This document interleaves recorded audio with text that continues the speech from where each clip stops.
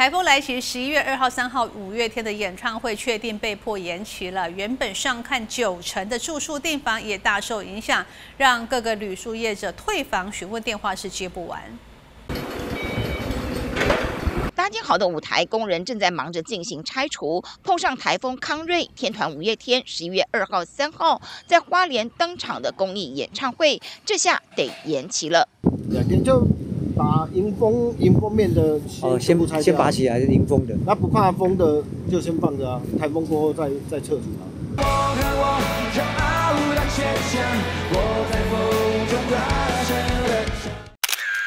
网上已经抛出演出延期公告，清楚写明，因为康瑞来袭，防灾防害永远都是第一考量，确保观众还有台前以及幕后还有演出人员的安全，包括高雄跟花莲三天共四场演出，统统延期。目前退房的话，四到六天之内取消退房，我们是会收取五十趴的这个保证金，好，会收取五十趴的这个取消费用。在发布了台风警报之后再来取消，我们其实是会全额，就是全额退款的，不会收取您任何费用。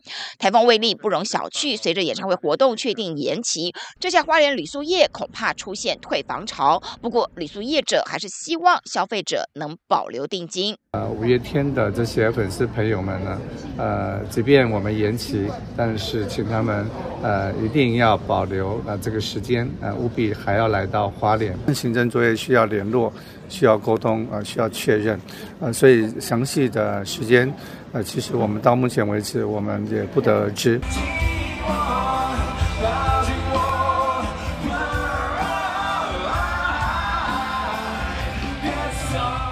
公益演唱会延期演出的相关事宜，都还有待确定后公告。也希望所有粉丝朋友能保留时间，再度回到华联。记者综合报道。